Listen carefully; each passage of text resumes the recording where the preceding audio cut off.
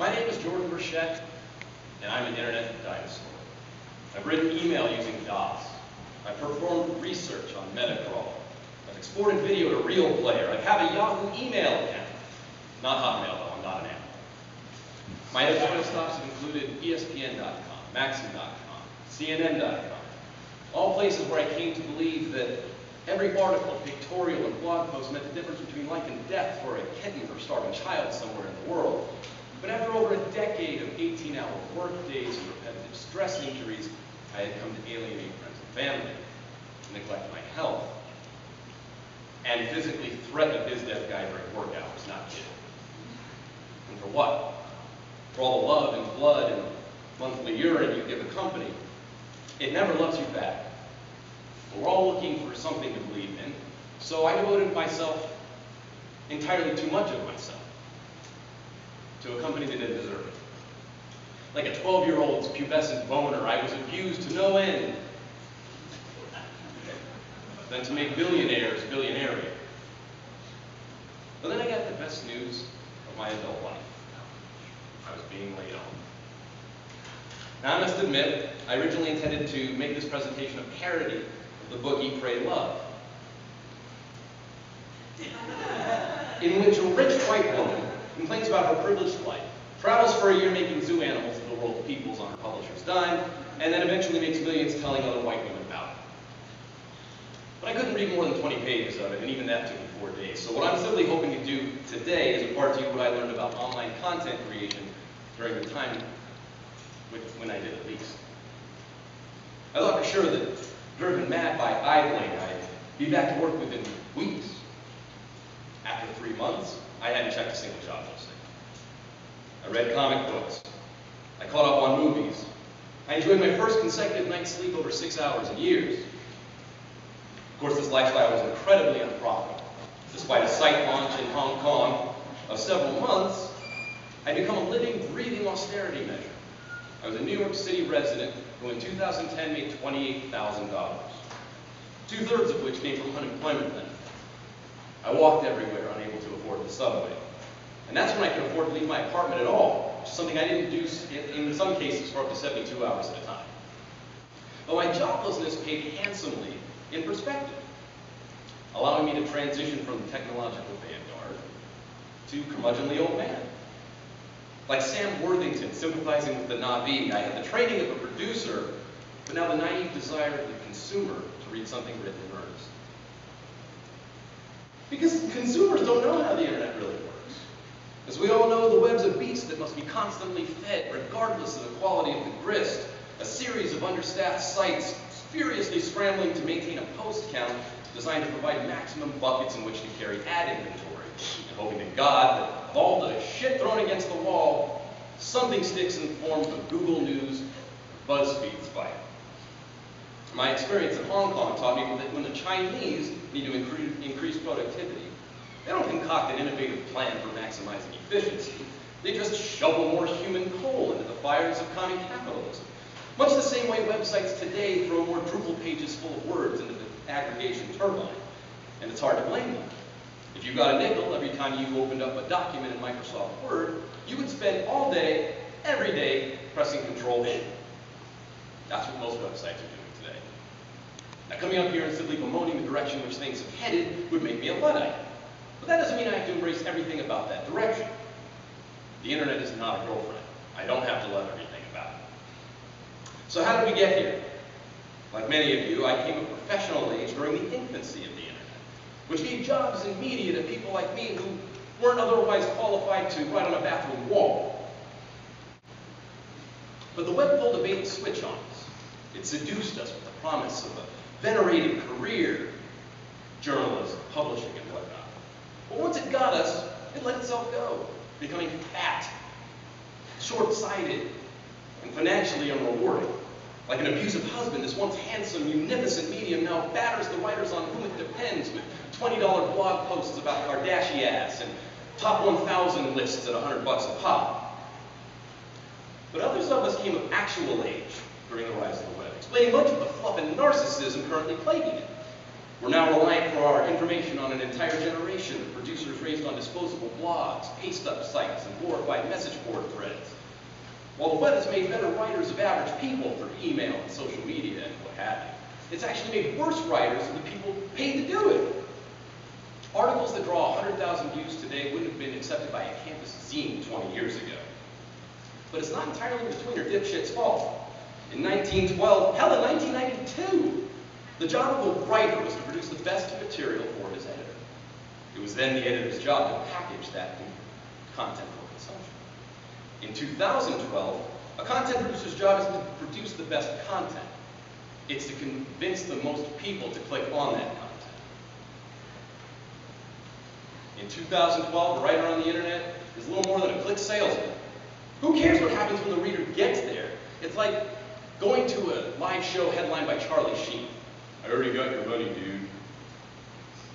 This may be more, uh, this may be no more revelation than the moral of a romantic comedy.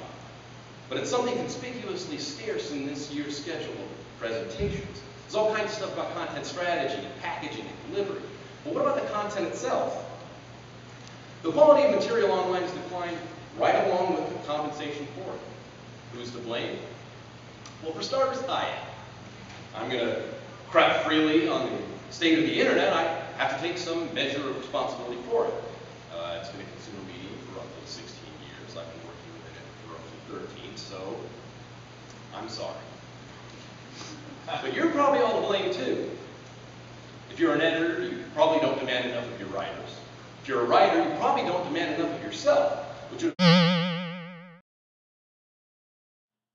Then I ask, anyone here seen The Wire? Okay, so you know what I mean when I say that you have to decide whether or not you want to be real police. Back in high school, our football coach told the gathered team that we were all likely there for one of three reasons. One, to be seen wearing the jersey in school on game days. Two, to satisfy someone else's expectations of us. Or three, to know the pride of working toward a shared goal. And I've seen plenty of jersey wearers make careers of content, but but these aren't the ones who change hearts and minds. To be real police takes personal sacrifice. You have to dispense with the, they're only paying me this much, they're only going to get this much effort mindset. Because as with the staff at McDonald's or Best Buy or Walmart, consumers will eventually settle on a shitty level of service from the content they consume unless we demand more of ourselves. I've had writers during my experience as an editor whose haste I appreciated when the timing demanded, but these weren't the people I turned to when a truly special project came up.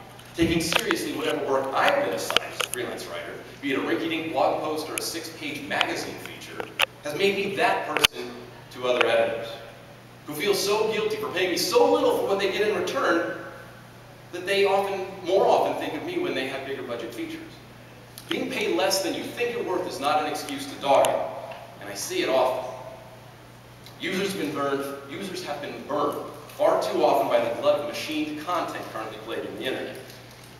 Re realizing their time is more valuable, they're saving their content consumption for the media that matters. And if I sound like I'm fighting windmills here, consider Salon.com, which is deliberately publishing one-third fewer links than it did a year ago, but is enjoying 40% more traffic. Instead of slapping its logo atop the same stories its competitors are all racing to regurgitate, Salon has dedicated its resources to breaking its own news for those competitors to chase. There's a similar story emerging at TheAtlantic.com, which is investing in less frequent but more thoughtful updates and has seen its uniques effectively double over the last year. Or BuzzFeed, for that matter, which recently committed itself to original content, having hired over a dozen reporters to break unaggregated news. Its founder's stated intent, quote, making content people are proud to share. Imagine that. Most content isn't made with pride, let alone shared that way. This commitment to real content is better for your brand, plus it's the best way to gird yourself against the next change in Google's algorithm. Now the churn and burn, more is more approach to content creation isn't going anywhere, any more than the shady financial instruments that contributed to the economic collapse. Which is fitting, since they were both developed to game their respective systems by warping their initial reasons for being in order to reap exponential profits. Anyway, that's how it looked from my couch. Short of exhorting you all to quit your jobs, here's what I propose. Be more precious. Countless thought leaders in the industry have advocated less preciousness, less persnickety attention to every word, brushstroke, or half note, and to an extent they're right. But you have to earn a caveat like that by having been precious at all to begin with. And most internet copy is written with all the thought of a lunch order at Applebee's. Next, try a little sincerity. And I'm not advocating the death of irony. And snark is the official language of the internet, even for people who suck at it. But there's a written equivalent of looking the reader in the eye. Lowering the wall between producer and consumer, brand and user, that is what community development is all about. You've now seen the kind of people who comprise our industry, so there's no use writing as if we think we're cool, because we're not. Next, push back against the forces of evil.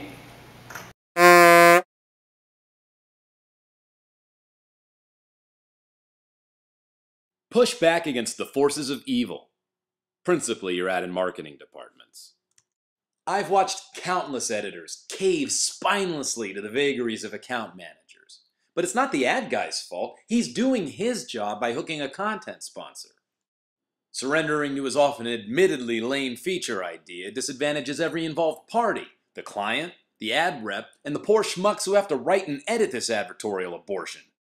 Nihilism has too strong a grip on our side of the business, encouraging editors to acquiesce in hopelessness to the money guys. Sack up and push back. They don't want to have to settle on the 10 oldest spices brought to you by Old Spice any more than you do, but they will if you don't come up with something better. Finally, it's not about you. Everything from Yelp reviews to political commentary is more about the person writing it than the subjects being discussed or their relevance to the reader. Once you're done writing 200 introductory words about what an influence Whitney Houston was on your life, select all, delete, then make with the toxicology report already. Because you're boring. The reader clicked to learn about a dead diva, not a diary entry. And if it isn't patently obvious, I was asked to speak here just three weeks ago when someone else dropped out. That means that probably one guy or girl on the South by Southwest selection committee really liked my original pitch but got shot down by the others. Three months later, one of them likely asked him, or her, What was that submission you liked so much? We just got an opening. I'm doing this presentation for that guy. Or girl. If there's even one reader out there who might really be into what you write, do it for them. And that's it. Thanks.